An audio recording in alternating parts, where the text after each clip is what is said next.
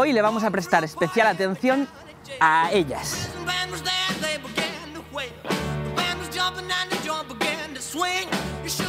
Las raíces. ¿Pero por qué?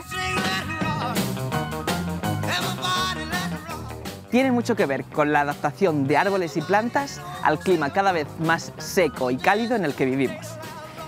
Especialmente, las plantas mediterráneas son capaces de sobrevivir a este tipo de fenómenos, así como a los contrastes y cambios bruscos de tiempo, como pueden ser las tormentas de verano o las grandes oscilaciones térmicas de principios y finales de primavera.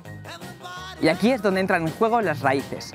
La gran mayoría de árboles e incluso arbustos y herbáceas mediterráneas han desarrollado un gran sistema radicular que llega a penetrar en la tierra incluso decenas de metros de profundidad. ¿Cuál creéis que es el objetivo? Parece lógico. Llegar a encontrar el agua que ha podido quedar acumulada en el subsuelo de tal manera que aunque la superficie quede completamente seca, estas pueden recurrir a ella y llegar a sobrevivir. Otras especies mediterráneas, sin embargo, suelen desarrollar sus raíces de manera más superficial, extendiéndose metros y metros desde el tronco. De esta manera, pueden aprovechar hasta la más mínima gota de lluvia.